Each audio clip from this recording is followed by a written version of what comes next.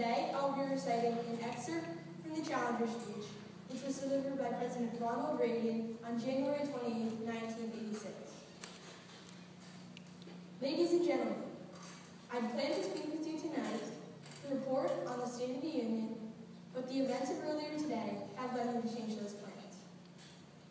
Today is a day for mourning and remembering. Nancy and I are pained to the core by the tragedy of the Shuttle Challenger. We know we share this pain, all the people of our country. This is truly a national loss. 19 years ago, almost to this day, we lost three astronauts in a terrible accident on the ground. But we've never lost an astronaut before. We've never had a tragedy like this before. But perhaps we've forgotten the courage that it took for the crew of the shuttle. But they, the Challenger 7, were aware of the dangers, but overcame it and did their job brilliantly. We mourn seven heroes, and we mourn their loss as a nation together.